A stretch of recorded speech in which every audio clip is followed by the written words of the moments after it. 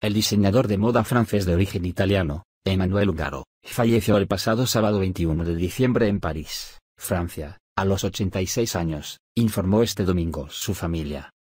Emmanuel Ungaro, que había dejado el mundo de la moda en 2004, se encontraba débil desde hace dos años, según precisó una fuente de la familia del diseñador de moda. Aunque haya dejado la casa, seguía siendo fuente de inspiración. Es una gran pérdida, comentó una portavoz de la firma Emmanuel Ungaro. Emmanuel Ungaro, el obsesivo sensual diseñador de moda.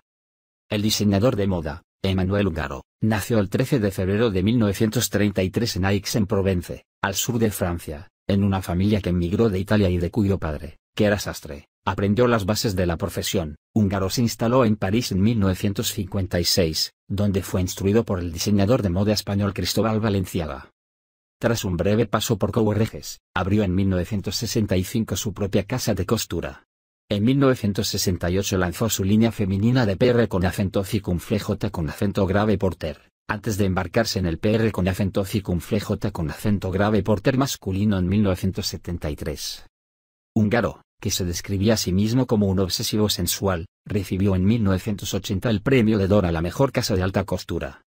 A lo largo de los años, el diseñador de moda construyó un imperio de moda que incluía la venta de perfumes, zapatos y gafas, que tras un tiempo fue adquirido en 1996 por la familia Ferragamo.